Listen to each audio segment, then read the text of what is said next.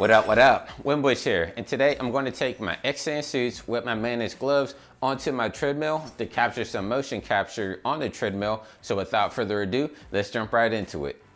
Okay, so I'm on the treadmill. I'm gonna walk at a flat normal pace about two miles per hour. I have everything set up on an HP laptop over there. GoPro camera in front of me, have my Blackmagic camera, looking at my computer there because I didn't want to record the screen capture. And so I have my camera recording on my laptop just to make sure that I get the optimal results and everything. And so I'm gonna go over here, start recording, and then I'm just gonna walk on my treadmill for about 60 seconds and see what kind of results we get. I'm gonna do about 60 seconds just to give us enough data to work with. So I'm just gonna stroll on here for about 40 more seconds. and that's about 60 seconds. So I'm to hit stop right here on my treadmill. There we go. I'm to come back over here to the laptop and let's stop this right here. So I'm going to save this one out. Hit save like so. And there we go. So I'm going to come back over here. I'm going to come to task. I'm to reset my grid again and just start at zero here. So now I'm going to do the same thing, but let me select my avatar and I want to bring it over to multi-level like so. And I just want to try it out on multi-level just to see what kind of results we get. So again, I'm going to hit record right here. Going to go back on the treadmill. I'm just going to walk it out for about 60 seconds here. So let me hit two miles per hour, hit start. And this one is doing multi-level.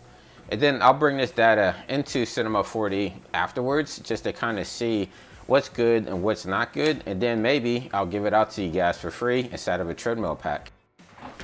And that's gonna be it for walk-in.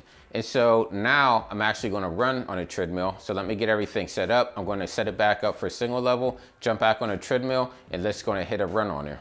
All right, so now that we did the walk, now I set it back to single level and I'm gonna go on a treadmill. I'm actually gonna run now, so maybe I'll put it up to like six miles per hour, seven miles per hour, just to get a good run.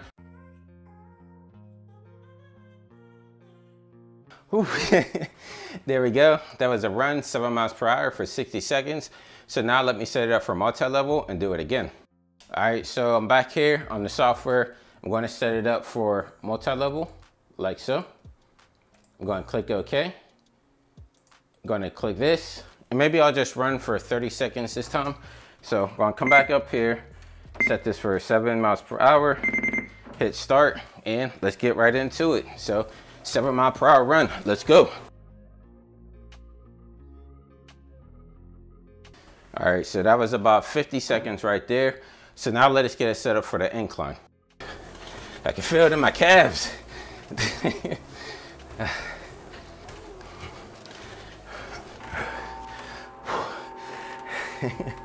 all right, so after all those takes, uh, running on the treadmill, doing incline and everything, I'm out of breath. So what I'm gonna do now is take the stuff that we just recorded, I'm gonna go through HD processing, and then I'm gonna bring it into Cinema 4D from there. So let's go back to the laptop.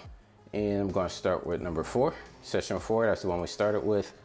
I should have named these better, but then I'm gonna come here, HD processing required, it's on slow. I'm gonna leave it there, single level. Quality, I'm just gonna hit start processing, even though it already started. And I'm just gonna let this play out. And so I'm actually gonna do this for the clips, and then next time we're gonna bring it into Cinema 4D and see what the results we got.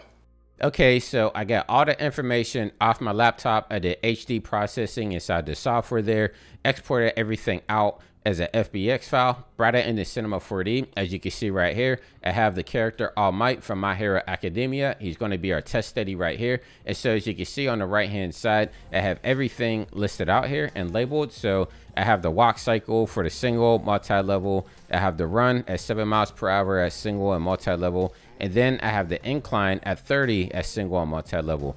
And so I already have everything all set up here. You can see that I have my character set up here with the Mixamo rig. And then I have all the Xsens information, the Xsens and Manus information in here as well and I just set it up with the character definition tag in which I could do a more thorough walkthrough on how to set this up. If you guys are interested, just leave me a comment down below and let me know if you want to see my workflow for bringing mocap into Cinema 4D with this easy setup here. But what I'm going to do now is basically, I'm just going to go through these one by one and just see how they set up. So I want to go through walk cycle, single level, two miles per hour. I dragged it down. Let me forward it into my timeline a little bit here. And now we can see it's holding up pretty well there.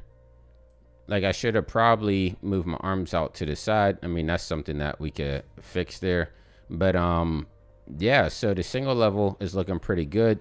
Let me try it out with the multi-level on the walk cycle here, two miles per hour. So I'm gonna come back over here, just click and drag this into here. Let's move it forward in our timeline a little bit. Let's click play. And it looks like we're getting the same results. And so both results look like they're pretty good there. I'm using the single level and the multi-level. I'm getting the same exact results, but again, this is on a flat surface. And so I didn't expect it to do anything different, but just for testing purposes, I think this is suffice. So anytime you want to do a treadmill on a walk cycle or anything like that, and it's going to be flat, let's go with the single level. So now we're going to test out the single level for the run. I'm going to drag this down here. Let's see what happens here on a single level. So I'll just start this inside the timeline here a little bit further in. Let's click play. You can see the characters in a pretty good state here. And again, before I exported it out from the Xsens software, I actually did it. So it's staying in place. And so when you export out the Xsens software, you can tell it to either do it stationary or you can have it be mobile, which it will run off the screen. But I wanted to make sure that everything stayed inside the viewport. So I did stationary for these examples. But you can see this is holding up really, really well. Let's see what happens when we put it on multi-level here. So I'm going to go back to the beginning of the timeline come over here, multi-level run, seven miles per hour. We're gonna click and drag this into here. Just moving inside of our timeline forward a little bit. Let's click play. And this will be multi-level here.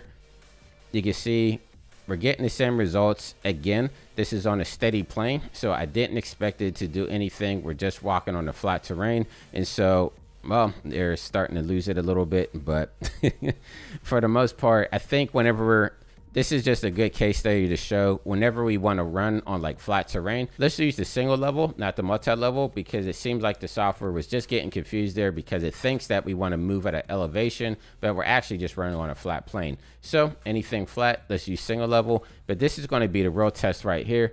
I have incline at single level and multi-level. So let's see what happens when I go on the incline. So I'm going to move back into my T-pose, bring this down. Let's start with the single level move it forward in my timeline a little bit here.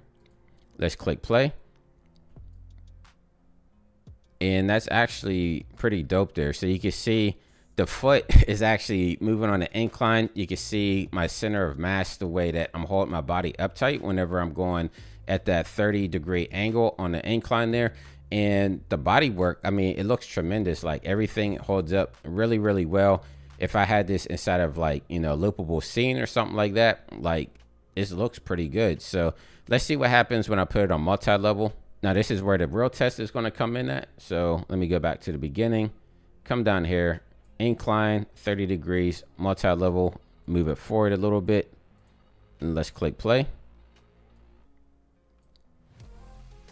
So you can see the character is actually moving up in elevation, which is interesting because again, when I was on the treadmill, I was actually just moving in place, right? But since it's on multi-level, it's actually moving my character up in the scene, which is really, really cool. Like this is holding up really, really well, which I think is pretty dope. So depending on the scenario, like if we wanted to have our character walking up a hill or a mountain or something like that, if we put it on multi-level, it's actually going to raise with the elevation, which is really, really cool. Or if we wanted to actually move it ourselves, like if we wanted to keyframe that position ourselves, we have that flexibility too with single level. And so I'm pretty happy with the results that we got here. This was a fun test. I wanted to do a walk cycle. This is something I haven't been able to do in the past on a treadmill just to see if I could do it. There's a lot more experimenting that's going to come since I know that I could get some really good results out of this. So hopefully this video helped you guys out. I think it's really cool that I could take my Xsens suits on the treadmill, do a couple of walk cycles, and the information holds up really well. I didn't have to do any cleanup or anything.